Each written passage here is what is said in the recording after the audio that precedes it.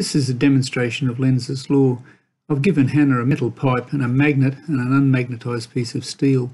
She's going to drop each through the pipe. Firstly, she's going to drop a unmagnetised steel nut down it. You can see it goes quickly. Now she's dropping a magnet down it. Okay. Now you can see it's taking a lot longer. In fact, it takes about 14 seconds or so to get all the way down, whereas the nut only took about 0.6 of a second.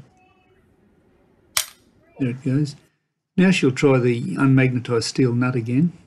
You can see how quickly that went down, 0.61 of a second. Now she'll try the magnet. You can see it drifting down, nowhere near as fast.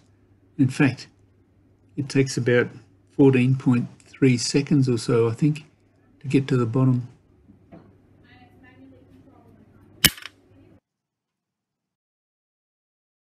So that's that. Thanks, Hannah.